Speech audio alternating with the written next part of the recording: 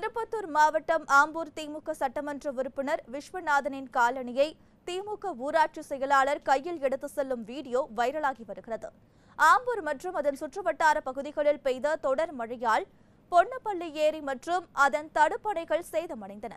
இதனை பார்வையிட்ட ஆம்பூர் திமுக சட்டமன்ற உறுப்பினர் விஸ்வநாதன் மற்றும் திமுக நிர்வாகிகள் சென்றனர். அப்போது திமுக ஊராட்சி செயலாளர் விஸ்வநாதனின் காலணியை எடுத்து செல்லும் வீடியோ சமூக வலைதளங்களில் வைரலாகி வருகிறது. ஆம்பூர் திமுக எம்எல்ஏவின் இந்த செயல் அப்பகுதி மக்களை முகம் சுளிக்க வைத்துள்ளது.